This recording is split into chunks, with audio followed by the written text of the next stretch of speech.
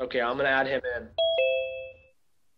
Deb, you're seeing this too, right? Like he's frozen. I mean, yeah, I can't hear anything, but his humidifier, whatever, that thing's moving.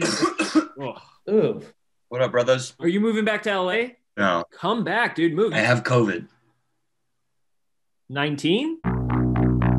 What the hell just happened? I mean, I don't want to sound racist, but I just feel like white people in Idaho are not taking this seriously.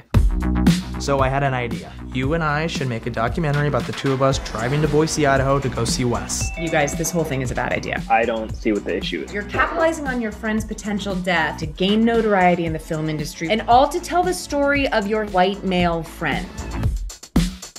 Yeah.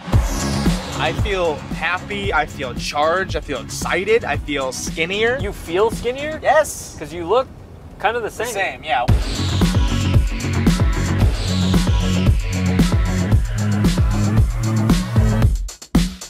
Just you and I doing cool stuff. It just feels a little cliche. That's because it is cliche. But it's what the people want. It's too much to ask, like with you guys filming a movie and everything. What? No, come on, man, we're on our way. Okay, we're fully lost. Sneaking around and being deceitful, it's gonna build a lot of tension. There's not a whole lot of that going on in this movie. Rains a lot this time Nope. I guess I'm just a little tired of carrying us creatively. Then why do you even want to work with me in the first place? This whole thing is ruined. I'm happy for like the first time ever. Trash, mentally ill, totally normal.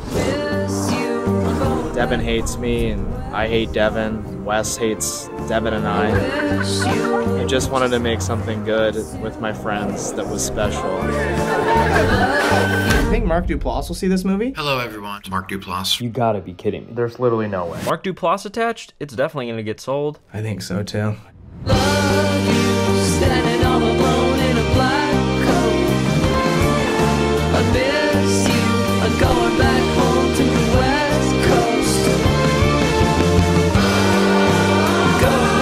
We are the A story, and you are the B story. My name is literally in the title of the movie. Yeah, but like so is Saving Private Ryan. You know what I mean? You don't really see Ryan until the last 15 minutes of the movie.